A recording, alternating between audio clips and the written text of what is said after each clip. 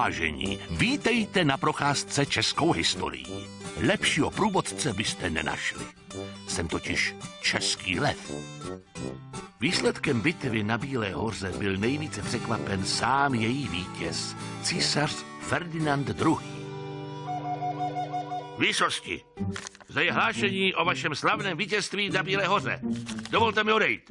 Tak Friedrich Falcký utekl jako malý kluk. A jeho vojsko taky.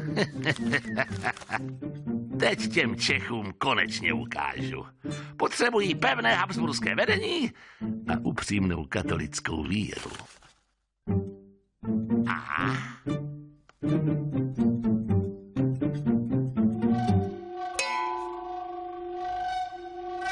Ale já jsem velkorysý. Dám ještě těm poraženým zbouřencům na výběr.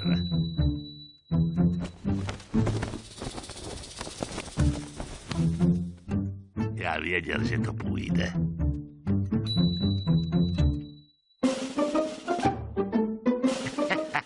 Smůla, že si ty své zámky nemůžou vzít sebou. Ve jménu jediné správné víry konfiskuji tento zámek. Nepřipomíná vám to něco? Zabavuji, konfiskuji, jménem církve, já to byl dřív. A těchhle nejhorších 27 čeká třetí možnost. Dnes se to zdá divné, ale veřejné popravy byly tehdy oblíbenou lidovou zábavou. To bylo ještě před vynálezem fotbalu. Bude to největší a nejkrásnější poprava, jakou Praha zažila. Císaři, nesu čerstvě vytištěný program a pozvánky.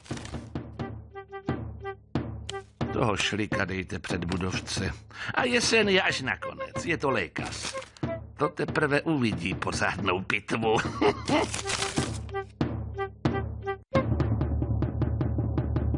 Katemidláři, konej svoji povinnost.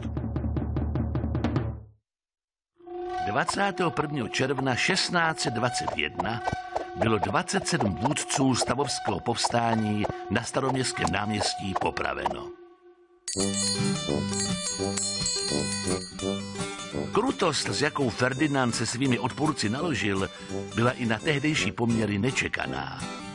A ještě horší věci měly následovat.